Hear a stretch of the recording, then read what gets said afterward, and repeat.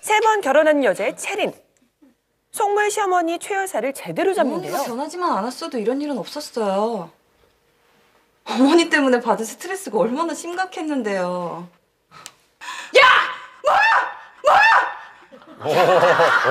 뒷목 잡게 하는 초강수 며느리입니다. 좋아요. 안 속아요. 하지만 이보다 한 수 위인 며느리가 있습니다. 복수란 이런 것. 친절한 홍혜정 씨. 뭐야? 그러니까 제대로 보호하고 계셨어야죠. 너 지금 이거 뭐 하는 짓이야? 어머님 주제에 무슨 갤러리를 하시겠다고 남미래랑 같이 다니다가 집안을 이꼴로 만드세요? 내 주제에? 막말도 되로 받고 말려주는 그녀. 심지어 부회장 됐다고 나한테 재니? 시어머니의 비리를 검찰에 제공.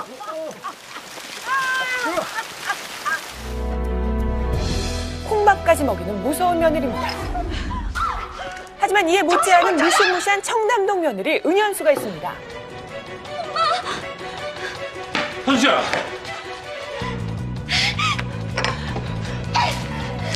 자, 눈에는 눈, 이에는 이, 물벼락에 물벼락. 내 엄마 건드려봐! 당신 아들 똑같이 건드려줄 테니까! 은현수 도끼 제대로 품었죠? 회장님, 큰일 났습니다. 언론에 시어머니의 비리와 끔찍한 시집살이를 모두 폭로한 겁니다. 안 돼. 토사감. 그리고 뺑소니로 살해당할 뻔했던 일도 마무리 지어야겠죠. 강복희, 당신을 살인 교사 혐의로 긴급 체포합니다. 절대 나한테 죽어도 안 돼. 이래내. 이래내. 홍혜정에 이어 은현수도 시어머니에게 철창행을 선물합니다. 삐는 시어머니 위에 나는 며느리들 만만하게 봤다간 정말 큰 코 다칩니다. 뒷목 잡게 하는 초강수 며느리입니다. 좋아요. 안 속아요. 하지만 이보다 한 수 위인 며느리가 있습니다. 복수란 이런 것.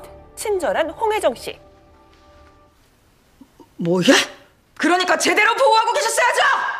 너 지금 이거 뭐 하는 짓이야?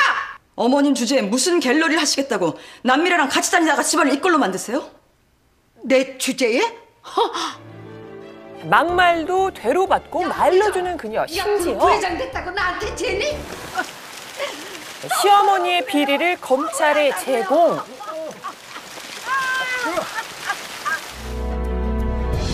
콩밥까지 먹이는 무서운 며느리입니다. 하지만 이에 못지않은 무시무시한 청담동 며느리 은현수가 있습니다. 현수야. 자, 눈에는 눈, 이에는 이, 물벼락에 물벼락. 내 엄마 건드려봐! 당신 아들 똑같이 건드려줄 테니까! 은현수 도끼 제대로 품었죠? 회장님, 큰일 났습니다. 언론에 시어머니의 비리와 끔찍한 시집살이를 모두 폭로한 겁니다. 안 돼. 그리고 뺑소니로 살해당할 뻔했던 일도 마무리 지어야겠죠? 강복